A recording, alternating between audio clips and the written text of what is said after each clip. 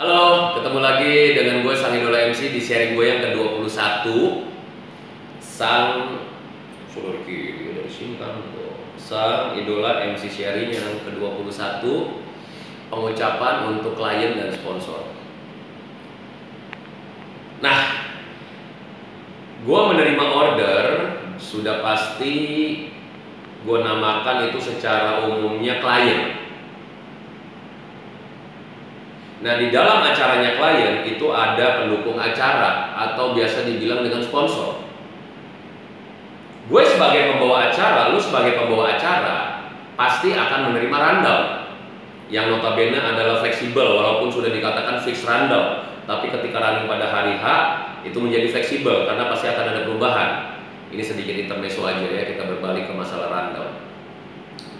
Nah, Ketika kita menerima order dari klien, saat itu juga ketika kita sedang perform, kita pasti diharuskan untuk mengucapkan say thanks untuk sponsor-sponsor.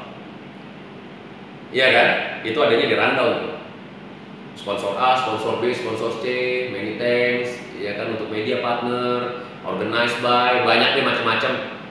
Banyak istilah-istilahnya, banyak pernak-perniknya, tapi yang pasti gue berharap lu bisa memahami bahwa pengucapan untuk klien dan sponsor ini itu begitu penting. Sekali lagi hubungannya apa? Hubungannya ke ketika kita tidak tahu untuk mengucapkannya, kita tanyakan itu. Itu sudah dibahas di sharing-sharing gue terdahulu. Coba dicari-cari lagi deh. Nanti itu akan bisa membuat lu lebih memahami materi ini, sharing gue ini. Oke, pengucapan misalnya PT Bahagia Makmur Sejati, salah satu sponsornya. Kita ucapkan dengan baik dan benar. PT Multidaya Wiguna mungkin ya ini sebagai contoh aja.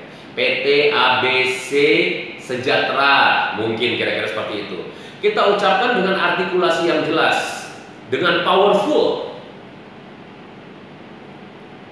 Nah, untuk masalah klien, atau klien pengucapannya itu biasanya klien itu bisa company bisa juga via IO tapi kalau via event organizer artinya klien gue dan lu adalah IO ini. Nah kliennya dari CEO ini adalah si company ini gitu loh. Jadi jangan salah kaprah ya. Klien gue dan lu adalah IO ini ketika kita menerima job dari IO gitu. Tapi kadang company juga direct. Atau bisnis bis, atau bisnis owner pun juga direct ke kita. Nah yang gue mau tekankan di sini jangan salah untuk mengucapkan nama dari klien untuk pengucapannya juga untuk pengucapan nama-nama sponsor. Itu aja sih. Semoga ini bermanfaat ya konsepnya lebih ke merefresh lebih ke merimain ya untuk mengingatkan. Tidak ada maksud untuk menggurui sama sekali dari gue jangan lupa like nya jangan lupa subscribe nya dan nantikan terus sharing-sharing gue selanjutnya dengan masih banyak materi yang gue siapkan. Semoga ini bermanfaat untuk lo semua dan bisa diaplik dan bisa diaplikasiin. Kalau memang gak cocok sama lo ya gue diabaikan aja. Yang pasti gue akan tetap berbicara gue akan tetap berbagi sampai terus sampai terus sampai terus sampai terus.